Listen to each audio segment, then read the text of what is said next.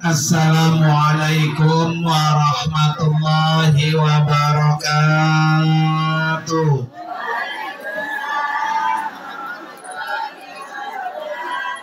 Bismillahirrahmanirrahim.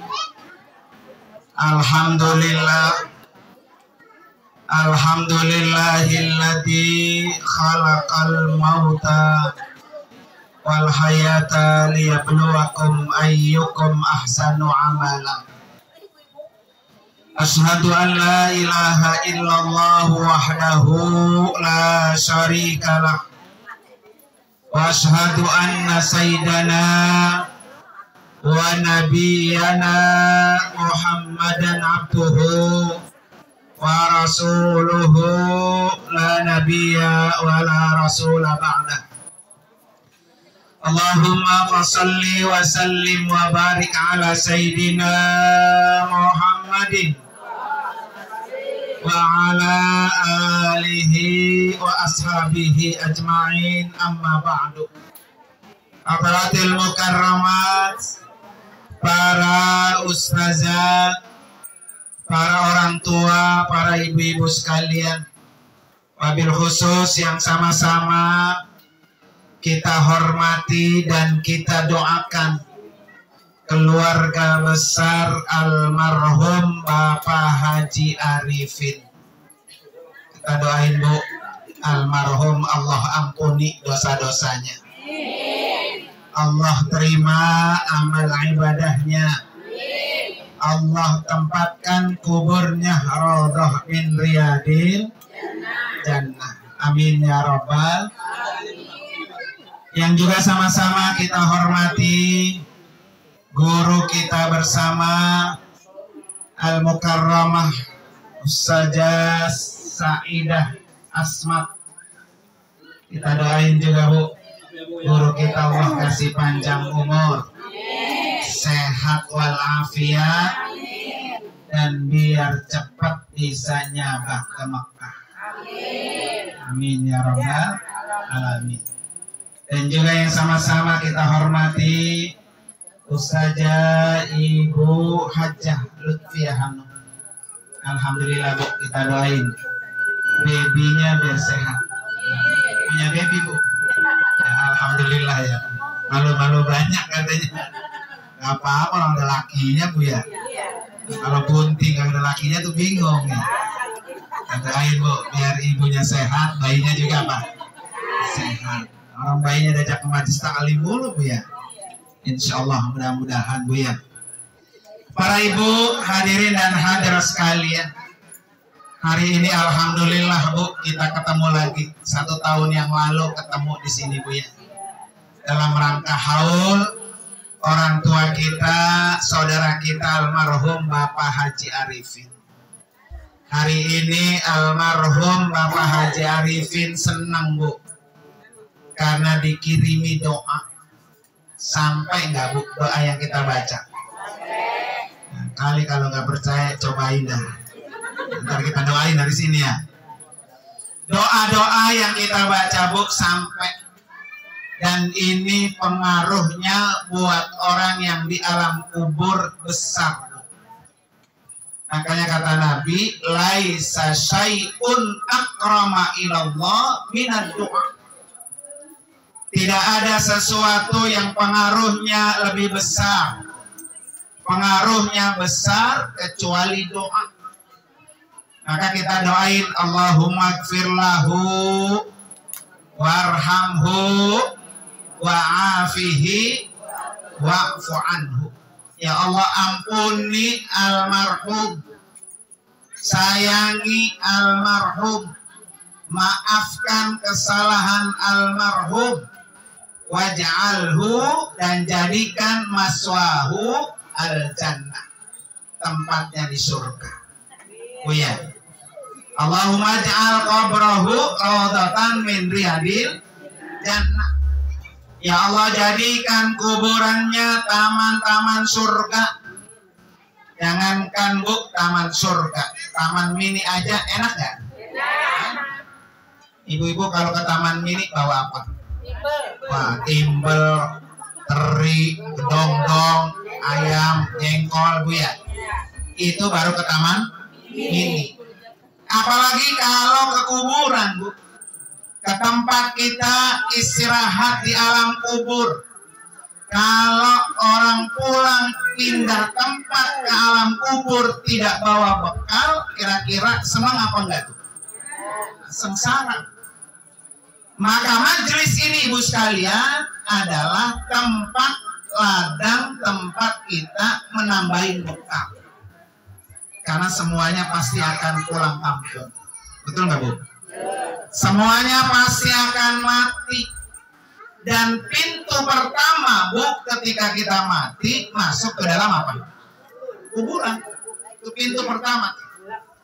Apakah kuburan kita terang? Apakah kuburan kita enak? Apakah kuburan kita azab? Apakah kuburan kita ladang surga? Belum tentu.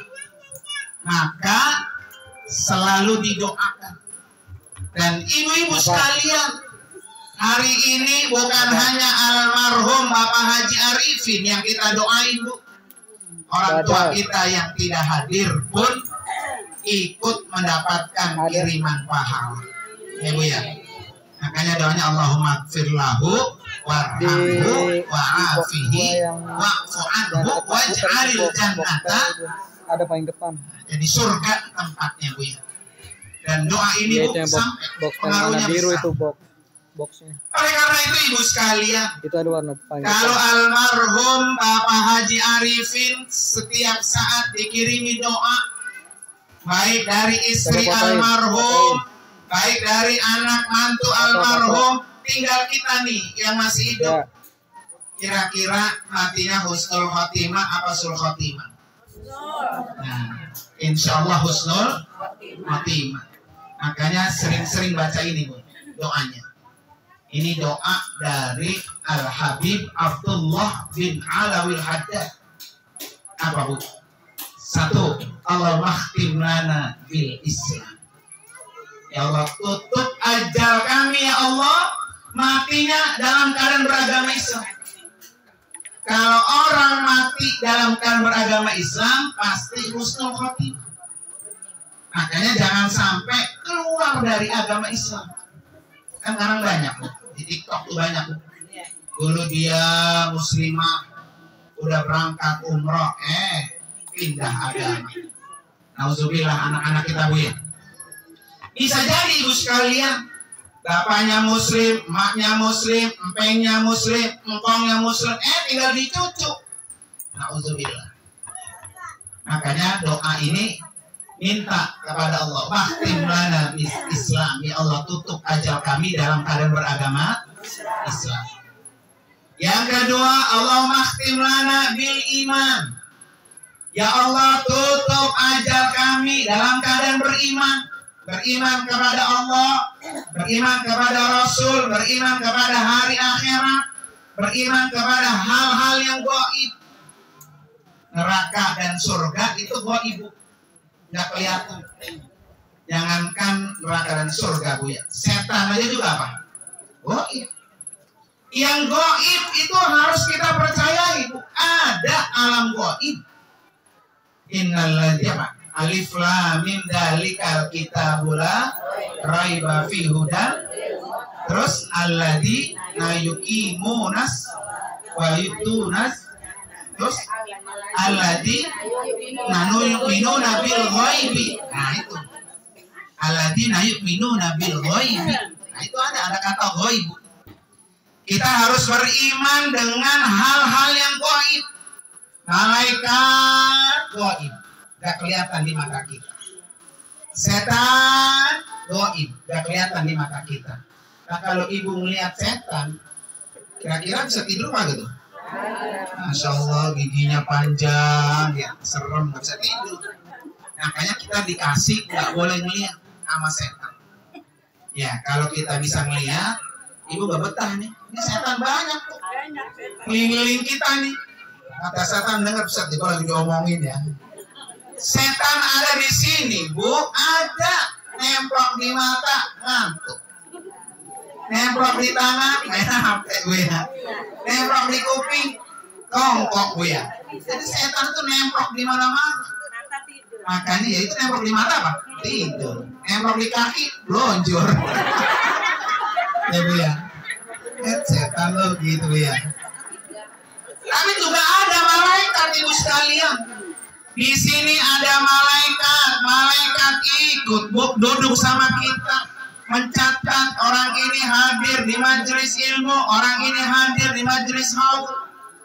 Ibu, Allah itu bu ada menugaskan malaikat yang kerjaannya keliling nyari majelis kayak gini. Ya keliling aja tuh. Nanti kalau dia lihat nih dari atas, ada di sini lagi pada duduk bareng. Ya bu ya.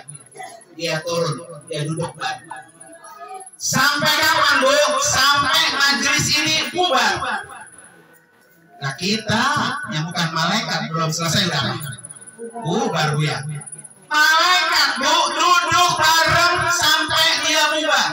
Ketika dia bubar dia balik lagi ke langit. Ketemu dengan Allah kasih laporan. Kata Allah dari mana kamu para malaikat? Saya habis dari dunia mencari hambamu ya Allah yang sedang duduk bareng-bareng bersikir mencari ilmu Terus kata Allah apa? Apa yang mereka minta? Mereka duduk bareng nih, kita duduk bareng, apa yang kita minta? Kata malaikat, dia minta diampuni dosa-dosanya. Ya ya? Kata Allah, saya ampuni. Jadi orang yang duduk di sini Bu, malaikat menyampaikan pesan, menyampaikan doa kita, kita minta ampun segala dosa kita, Allah ampuni. Makanya orang yang duduk di majelis kayak gini, Bu, pahalanya dapat, dosanya diapain? Diampuni. Besek juga ada ruginya, Bu ya. Makanya besok kalau diundang acara kayak kayak gini, Bu, jangan kagak datang. Karena dia akan diturunin malaikat, malaikat akan membawa apa yang kita minta. Yang kita minta ini, Allah dia sampaikan sama Allah. Allah kasih. Inilah kelebihan daripada majelis-majelis zikir, majelis ilmu kayak gini. Para ibu hadirin dan hadirat sekalian. Nah, buat kita yang hidup ya. Tadi itu satu, minta mati husnul khotimah. Ini terusin lagi bu, doa doanya dari Amin Abdullah tadi. Allah makhtim lana bil khair. Ya Allah tutup ajal kami dalam melakukan kebaikan Jangan sampai mati lagi nyolong. Umpamanya Bu ya. Mati umpamanya lagi ngerjain maksiat. Nah, maka diminta Allah makhtim lana bil khair. Ya Allah tutup ajal kami dalam melakukan kebaikan. Lagi sholat, Enak kan Bu? Enak. Lagi baca Quran, datang Israel lagi salat, lagi berbuat baik, lagi taklim begini bu mati. Enak kan bu? Enak lagi taklim begini mati. Ya, saya doain ya. ya. Yang penting ibu sekalian, ya Allah jadikan tutup ajal kami sedang melakukan kebaikan. Ya, maka orang yang mati dalam melakukan kebaikan, maka dia dicatat matinya husnul khotimah. Nah di ujung doa ini bu kata Habib Abdullah apa? Allahumma lana bi husnil khotimah. Ya Allah tutup ajal kami dalam keadaan husnul khotimah. Nah, orang husnul khotimah bu, itu orang yang pasti masuk dalam surganya Allah Subhanahu wa taala. Maka ciri-ciri orang mati husnul khotimah apa? Dia punya amalan sunnah yang tidak pernah orang lain kasih tahu. Tuh, dia punya amalan sunnah. Ibu amalan sunnahnya apa? Rajin baca Quran. Itu tanda-tanda orang mati husnul. Amalan sunnahnya apa? Ibu rajin hadir ke majelis ilmu, majelis taklim. Itu ciri-ciri orang mati husnul. Ibu punya amalan puasa sunnah mau Senin kek, mau Kemis kek, mau Arafah kek, mau Muharram kek, pokoknya punya amalan apa? Puasa sunnah. Lagi ibu-ibu nih. Ibu-ibu kalau puasa sunnah Kemis, Senin ya, sering gak bu? Saya Nah, harus sering-sering ya bu ya. Karena kalau kagak ada sunnahnya bu, sunnah begini bu, ibu.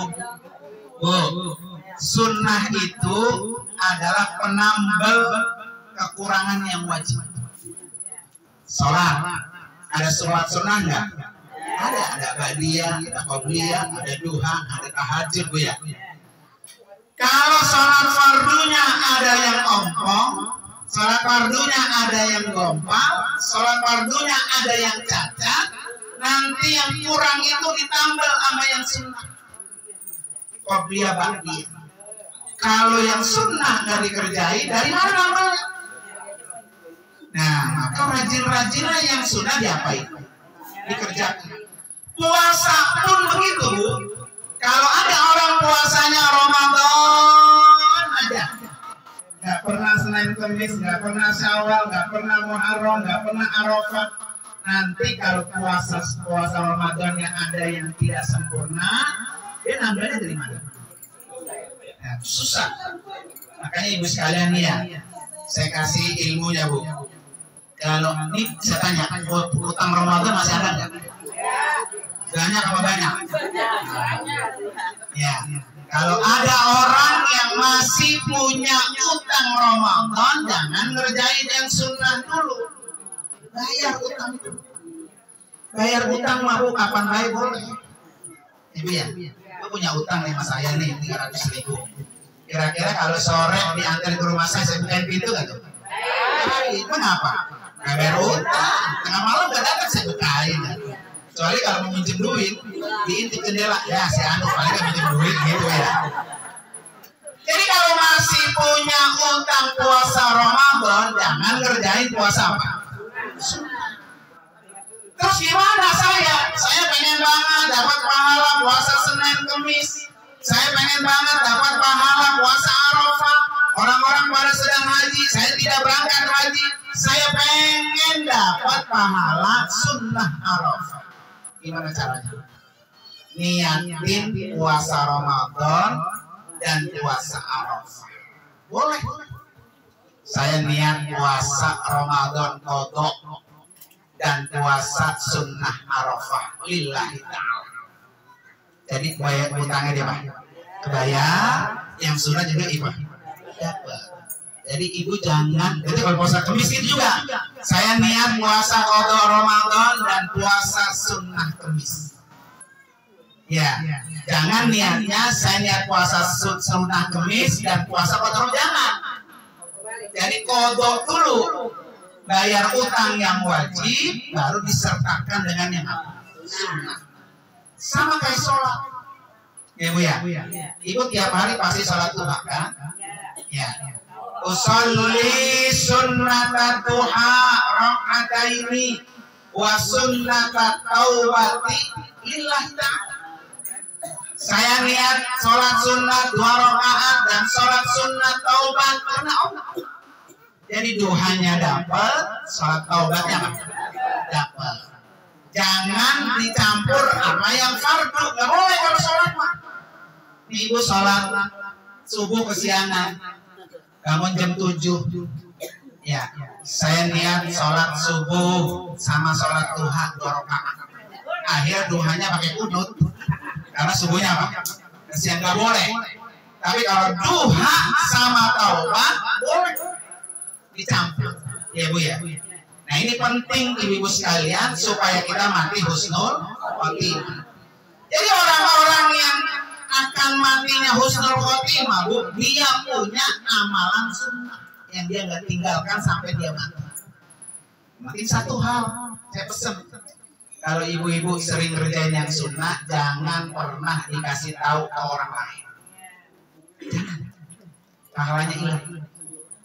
Ya, baru selesai. Bisa duha 12 rakaat. Langsung pasang status. Alhamdulillah kalau udah duha hari ini 12 rakaat. Ya. Nah, jangan ya. Jadi yang sunnah jangan dikasih tahu orang lain emang ibu nggak ngomong sama orang tapi yang lihat status ibu berapa orang? Wah, iya mentang-mentang habis ngaji ya. Rajin banget duhanya 12 maka di upload lagi. Jangan hilang pahalanya. Jadi kalau yang sunnah sunnah ibu baca baca Quran nih, Emang ibunya emang enggak, Qurannya dipoto. Jadi status Alhamdulillah hari ini hafal Quran saya. Nah, jangan. Jadi yang sunnah-sunnah jangan dikasih tahu orang lain. Kalau orang lain dikasih tahu, pahalanya jadi apa? Hilang. Saya capek-capek baca Quran, sebulan hantam, sebulan hantam. Tapi selalu dikasih tahu apa? Orang lain. Bu ya. Nah ini pesannya tuh dari saya. Nah ibu sekalian, yang kedua. Tadi yang pertama kita mati pengen husnul khotimah. Yang kedua ibu sekalian, pengen mati ketika dicabut nyawa kita sakaratil maut gampang. Ada kan orang ya, ayah lama, lama, kagak mati, mati kagak, anak anak mantu udah bosan, ini nenek kapan matinya sih lama banget, gitu ya. Jadi makan matinya susah, matinya susah. Ya Allah, nauzubillah. Nah, ada doanya. Allahumma hawwin alaina fi sakaratil udah pada pintar.